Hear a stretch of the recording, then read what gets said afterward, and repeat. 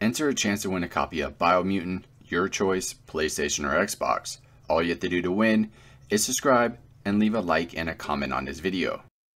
Alright, keep in mind, each one of the World Eaters has a special trophy slash achievement tied to them, so I recommend making a save before the boss fight. So for this one, you're going to do this in the first phase. Uh, when you get close enough to the bomb, you can drag it with the square button on PlayStation. All you need to do is just drag the bomb close enough to the boss and wait for it to detonate itself, or you can shoot it with your weapon. You just need to get three of them, so make sure you get this done in the first phase.